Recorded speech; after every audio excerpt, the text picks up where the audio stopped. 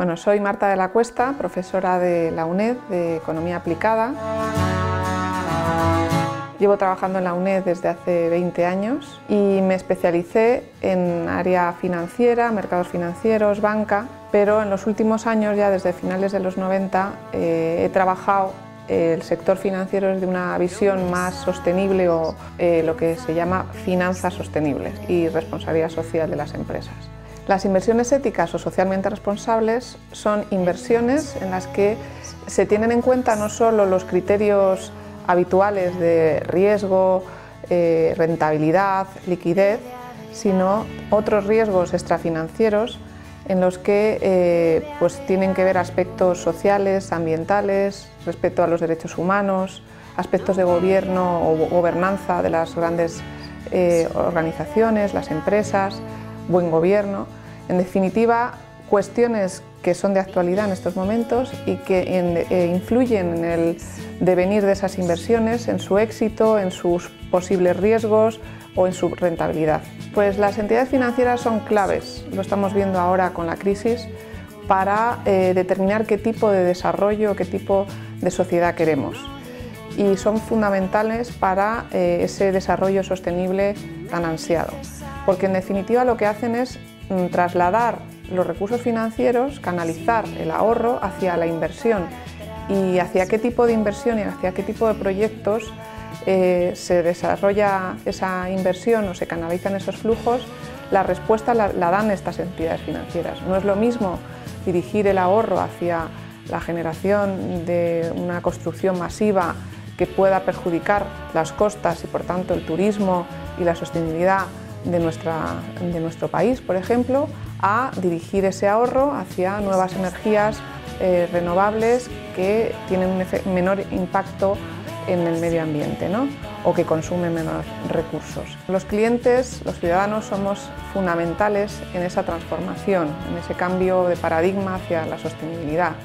Desgraciadamente, cuando se les hacen encuestas, todos pensamos que sí, que hay que contribuir a que los productos sean más sostenibles, consumir menos, pero la práctica nos dice que cuando hay un acto de compra, un acto de consumo, no nos guiamos en realidad por esos criterios.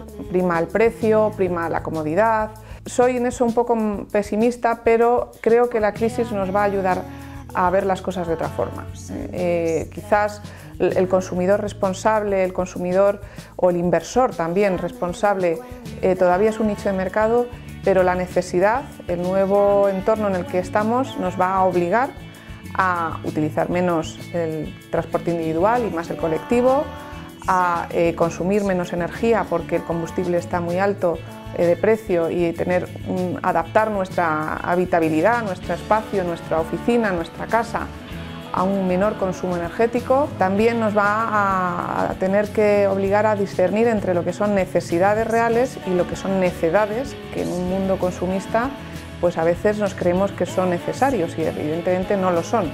Por tanto, eh, la crisis ah, lo bueno que tiene es que nos va a hacer ser un poco más sostenibles a la fuerza. Si los bancos o todos los bancos hubieran sido eh, sostenibles o éticos, posiblemente no tendríamos eh, mucho menos esta crisis que tenemos ahora. La pregunta también es, ¿quiénes son los bancos? ¿O ¿De qué se componen los bancos? Pues se componen de personas, de individuos y utilizan, como explicaba antes, el ahorro que nosotros les delegamos, que les eh, dejamos en sus manos.